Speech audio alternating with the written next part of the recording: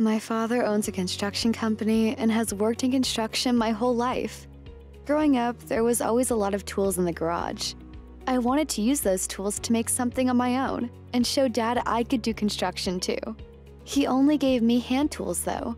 He would let me use a saw or a screwdriver, but power tools? He said absolutely not. Despite my pleas, he told me I had to wait until I got older.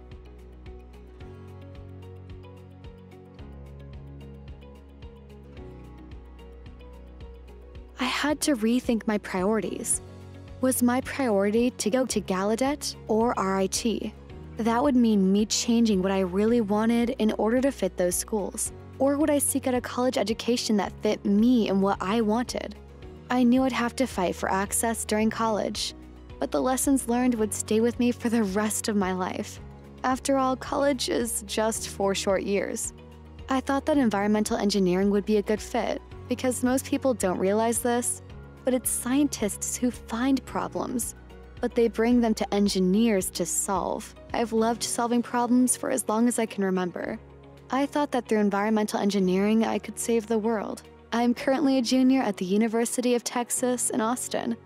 I am studying civil engineering and minoring in ASL. Also, I study welding technology at Austin Community College during the summer. When I'm not working, I study here. My goal is to work with underground and underwater structures in the oil industry. It's what I've always wanted a perfect combination of environmental protection and welding, which suits me well. I like to challenge myself, so I embrace changes as I get into this field. I know it's what's best for me.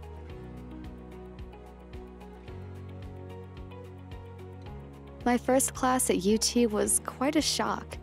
There were 500, 550 students in a large lecture hall.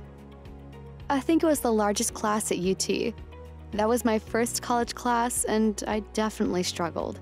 I credit Dr. Laude, a great teacher and one of the best professors at UT. He met with me one on one for an hour almost every other week. Every two weeks, even though he had 550 students, even though he was a vice president, high ranking at the university, he was still willing to meet with me and teach me study skills and basic college survival skills. I learned so much, he recognized that I, being deaf, didn't have the same advantages as most students.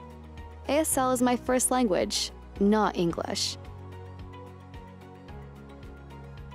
He was my teacher my entire first year, and he saved my life. If it weren't for him, I probably would have dropped out of university. People think that my accommodations give me an unfair advantage, but they don't. It's not something I want, but a need. Accommodations are meant to get me on the same level as the other students.